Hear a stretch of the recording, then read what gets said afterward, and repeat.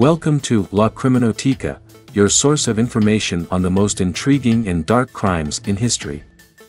In this installment, we will explore the history of the infamous serial killer, Rodney James Alcala.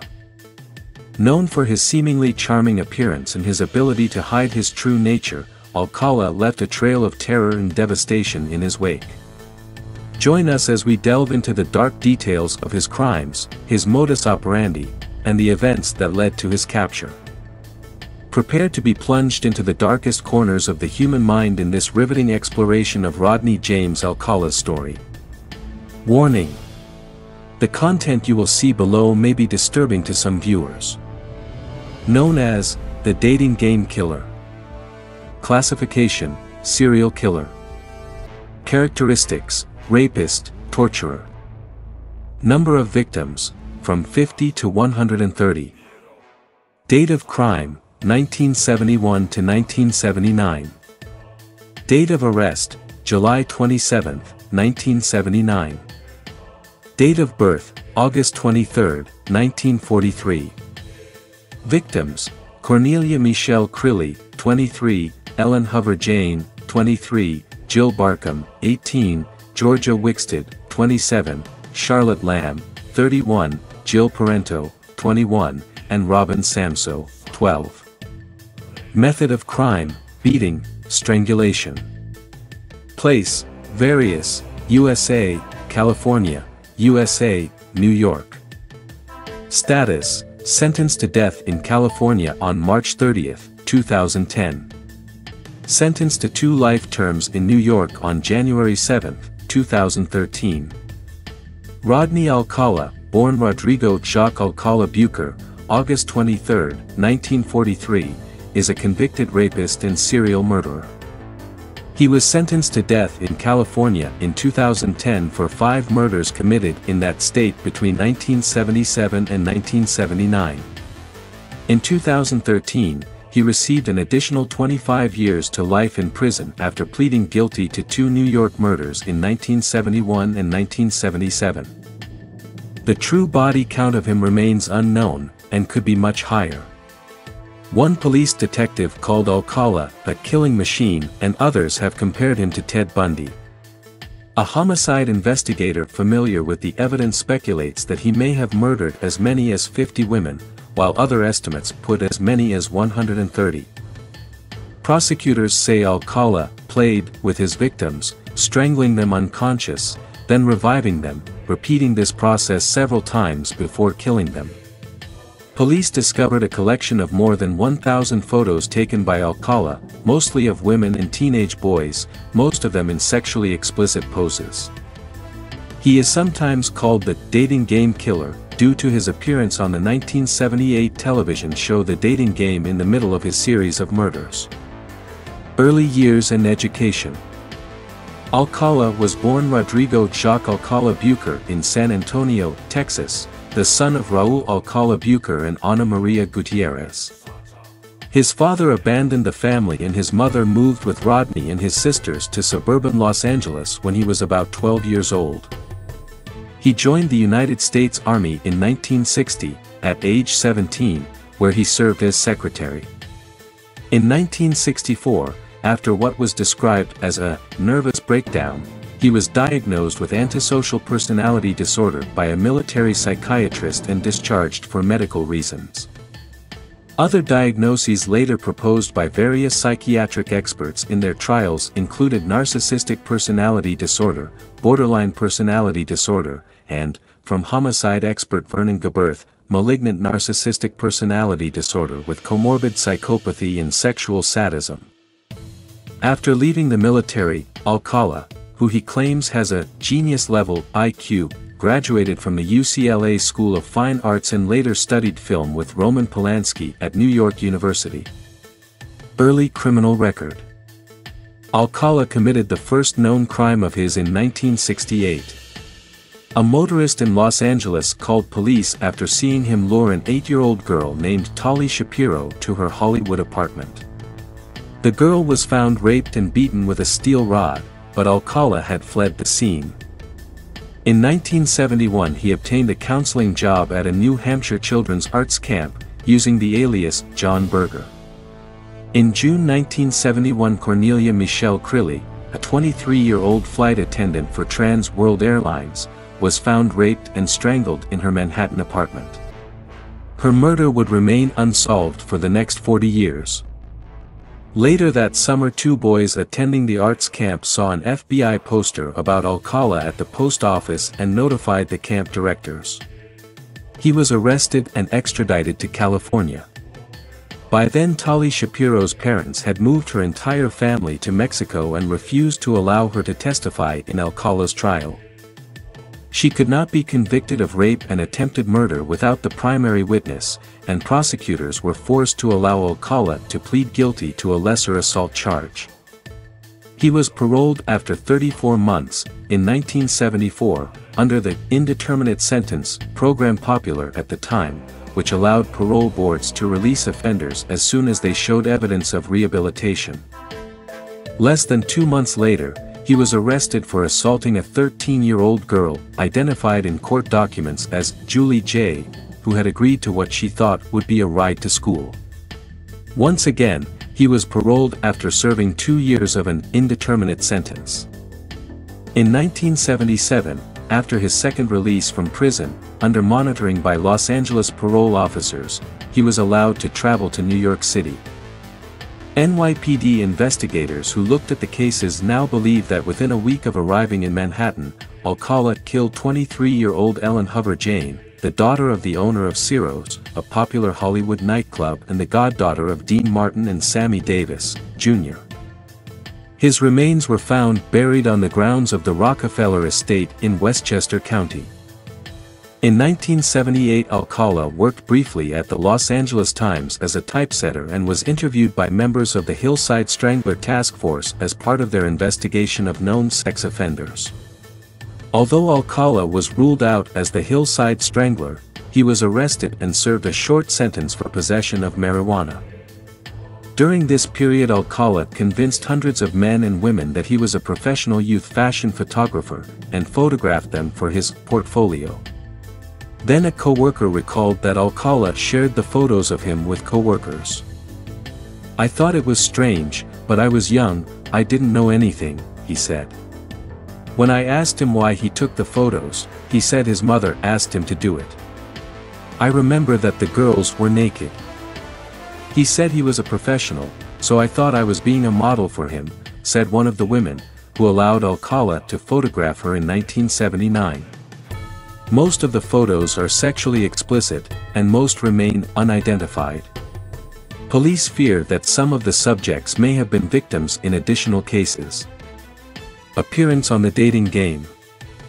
In 1978, despite his status as a convicted rapist and registered sex offender, Alcala was accepted as a contestant on the dating game.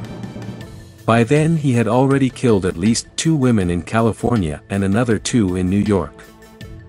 Host Jim Lange introduced him as a successful photographer who began his career when his father found him in the darkroom at the age of 13, fully grown up. Among his hobbies, he can be found skydiving or motorcycling. Actor Jed Mills, who competed against Alcala as Bachelor 1, later described him as a very strange guy with weird opinions. He claimed that Alcala had no earrings on the show, as he had claimed during the 2010 trial, earrings were not yet a socially acceptable accoutrement for men in 1978. I had never seen a man with an earring in his ear, he said.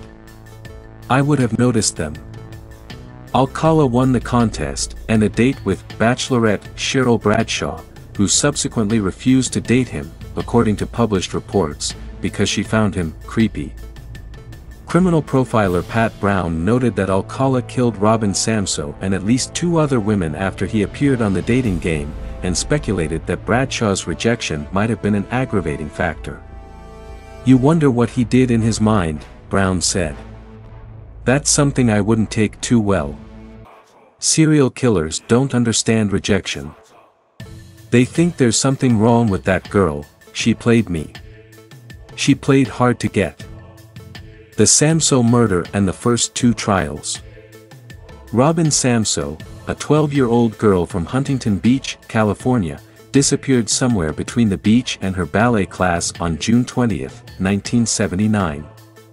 Her decomposing body was found 12 days later in the Los Angeles foothills. Police later found Samsoe's earrings in a Seattle storage unit rented by Alcala. In 1980 Alcala was tried, found guilty, and sentenced to death for Samsoe's murder, but the verdict was overturned by the California Supreme Court, as jurors had been inadequately informed of his previous sexual crimes. In 1986, after a second trial, he was convicted again and sentenced to death once more. However, the Ninth Circuit Court of Appeals overturned this second conviction, in part because a witness was not allowed to support Alcala's claim that the ranger who found Samsoe's body had been hypnotized by security investigators, police.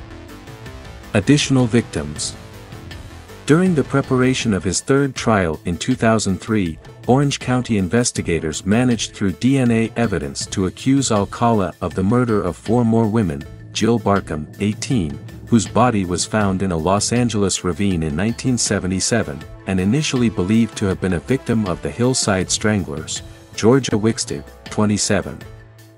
Beaten to death in her Malibu apartment in 1977, Charlotte Lamb, 31, raped and strangled in the laundry room of her El Segundo apartment complex in 1978, and Jill Parenteau, 21, killed in her Burbank apartment in 1979.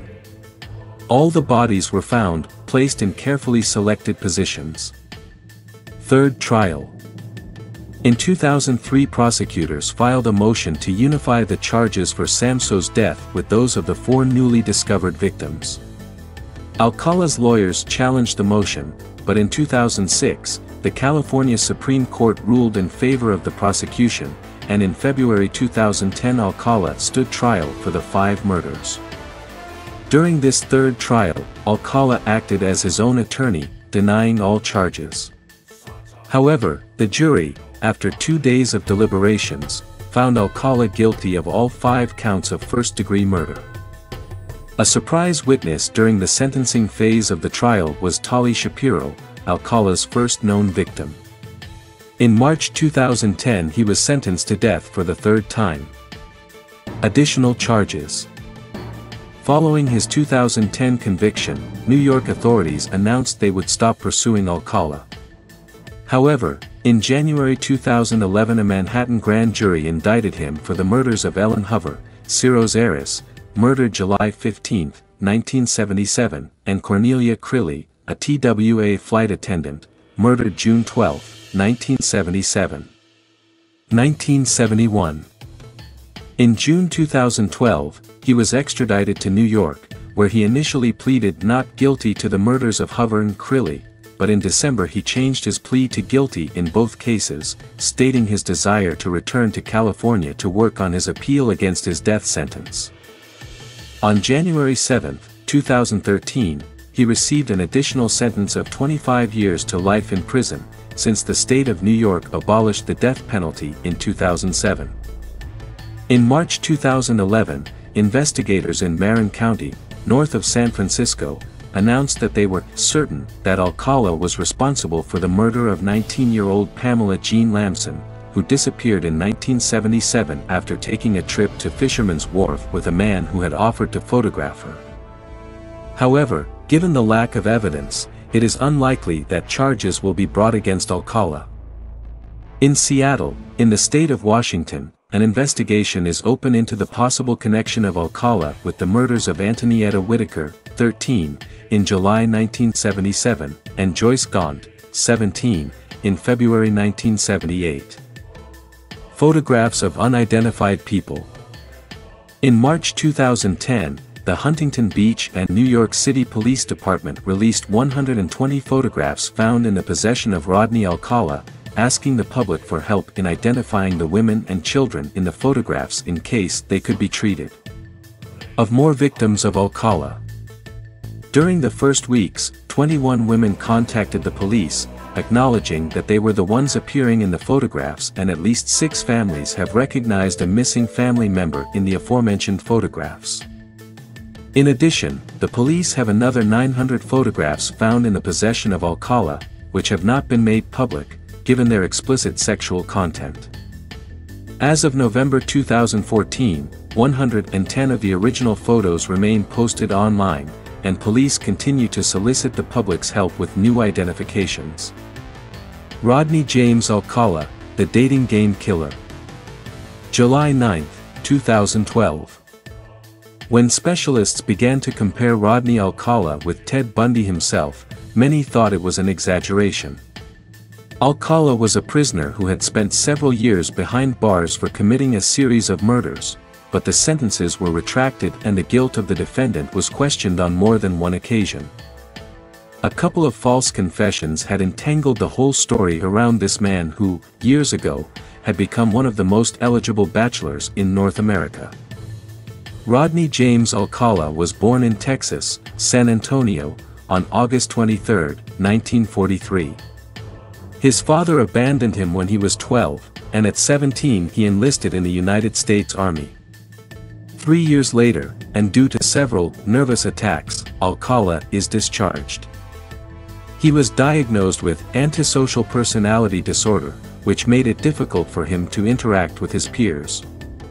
The exams highlighted that Alcala had the IQ of a genius, marking an IQ of 160, however he was also a borderline narcissist.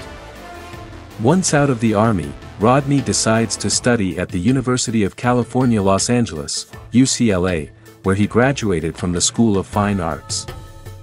In 1968, Alcala raped and beat an eight-year-old girl, Tali Shapiro, with a crowbar. Fortunately, while the stranger tricked his victim into inviting her into his car, a witness followed him and alerted a police officer, who entered the apartment unexpectedly, finding Shapiro on the floor, still alive, but badly injured. Meanwhile, the rapist escaped through the back door and disappeared.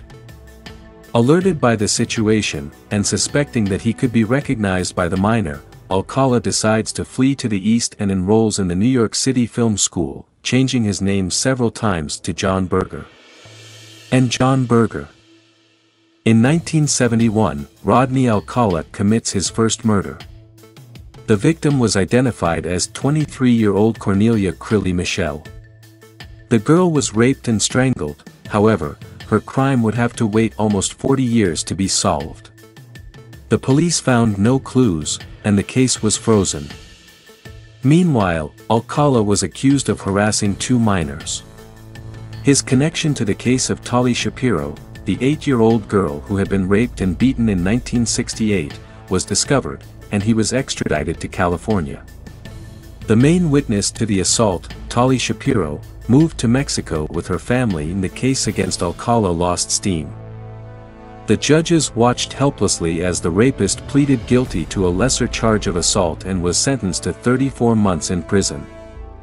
Alcala was released in 1974, but just a few weeks later, he appeared before the judge again for the alleged kidnapping of a 13-year-old girl. The charge could not be proven, however, Alcala would have committed the crime of providing marijuana to the minor. Rodney served a two-year sentence and was back on the streets. He moved to Los Angeles and murdered, a week after his release, 23-year-old Ellen Jane Hover. He worked for a brief period writing for the Los Angeles Times, where some colleagues would remember, years later, seeing him with various photographs of different girls with whom he allegedly had affairs. Rodney was a photographer, and he used this medium to attract and impress different young women, several of whom were captivated by his charms. He was a well-mannered guy, likable, intelligent, attractive and a bit mischievous. None of them ever suspected that Alcala was a ruthless murderer and rapist. In 1977, Alcala had already become a cold serial killer. The following murders showed that the murderer was enjoying his work, Rodney Alcala strangled, but his modus operandi began to become more and more sadistic, torturing his victims for several hours before killing them. In addition to the rapes and beatings, he used to suffocate them unconscious and leave them nearly dead, then revive them several times. Then he strangled them and sodomized their bodies with a hammer, or beat their heads to pieces, he even began to decapitate them and practice necrophilia with their bodies. At the same time, Alcala made his life as if nothing had happened, and the police had no clue about the murders. The fact that no one associated him with the crimes he had been committing made him feel an enormous sensation of impunity.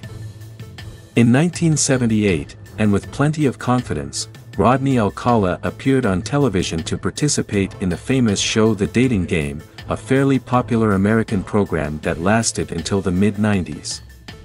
In it, a girl had to choose between three men, who would accompany her on a romantic date. As expected, Alcala looked charming in the casting and was selected to participate. During the show, he was introduced to her as a successful photographer, a fan of skydiving and motorcycles. He managed to impress the girl, Cheryl Bradshaw, with flirtations and a lot of mischief and good humor, as well as a wide smile throughout the show. Cheryl did not hesitate to choose him as the winner. After the show, the girl would cancel the appointment with Alcala. In her opinion, there was something she didn't like, and was scared of, about that man. Alcala's last murder would be that of Robin Samsoe, a 12-year-old girl whom he kidnapped on June 20, 1979. The incident was reported to the police, while a couple of witnesses claimed to have seen her, shortly before her disappearance, with a photographer on a nearby beach. Fifteen days later, Samsoe's body was found near the mountains, eaten by animals and insects. The girl had been strangled, decapitated, and was missing several teeth. The witnesses managed to give a good description of the suspect, and a sketch was made that was recognized by one of the policemen who knew Alcala, due to the rape case in which he was involved years before. A ranger also claimed to have seen a Datsun F-10, at the place of discovery, the same day that Samsoe disappeared. The vehicle was Rodney Alcala's and police issued a warrant for his arrest. Days later, the suspect was arrested at his mother's home and charged with the murder of Robin Samsoe. Alcala's luck seemed to be running out. During the trial, Robin Samsoe's mother brought a revolver to kill Alcala, but she didn't. The harsh process caused problems for the Samsoe family and some members stopped attending. The murderer had been sentenced to death, but various technicalities led to Alcala's conviction being overturned in 1984 and again in 2001. Later, the evidence began to link it with other murder cases committed between 1971 and 1979. For more charges were added to the Samsoe case, and soon the sum of possible murders rose to an alarming 30. During the raid on the killer's home, hundreds of photographs of women were found, including those he had murdered. Suddenly, the police began to wonder if the other girls photographed were dead or alive. Several specialists assured that it was possible that Alcala was linked to the disappearance of some 125 women decided to disseminate, through the internet and social networks, more than 130 photographs that the murderer hid, with the hope that one of them could be identified. They, but they were not successful. The official number of women murdered by Alcala is a mystery, but if the expert's estimate is correct, we could be talking about the worst serial killer in the United States. In 2012, Alcala was sentenced to death. Despite representing himself before the jury and denying all charges against him, his defense was not strong. Apparently, justice no longer wants to continue battling this man who, despite spending four decades in prison, continues to be a real headache. At the age of 68, Rodney James Alcala awaits his execution on death row at the San Quentin prison. Update as of July 2023, additional victims. Pamela Lambson. In March 2011, investigators in Marin County, California, north of San Francisco, announced that they were certain that Alcala was responsible for the October 9, 1977 murder of 19-year-old Pamela Jean Pam Lambson, who disappeared. Her after taking a trip to Fisherman's Wharf to meet a man who had offered to photograph her. Her naked and battered body was later found in Marin County, near a hiking trail. With no fingerprints or usable DNA, charges were never filed, but police claimed there was enough evidence to convince them that Alcala committed the crime. Christine Thornton In September 2016, Alcala was charged with the murder of 28-year-old Christine Ruth Thornton, who disappeared in 1977. Thornton and her boyfriend moved away from her family to live in San Antonio, Texas. After they separated in Biloxi, Mississippi, in June 1977, she was last seen hitchhiking and was never heard from again. In 2013, Thornton's sister acknowledged an image released by the Huntington Beach Police and the NYPD of a dark-haired woman riding a motorcycle wearing a yellow shirt. Her body was found in Sweetwater County, Wyoming, along Interstate 80, in 1982, but was not identified until 2015 when DNA provided by Thornton's relatives matched tissue samples from her remains. Alcala admitted to taking the photo, but not killing the woman, who was approximately six months pregnant at the time of her death. Thornton is the first alleged murder victim linked to Alcala's photos made public in 2010. Alcala, 73, was reportedly too ill to make the trip from California to Wyoming to stand trial on the new charges. Death Alcala finally passed away on July 24, 2021 at the age of 77 in the Corcoran, California prison of natural causes. So much for today's episode, subscribe and give like if you liked it.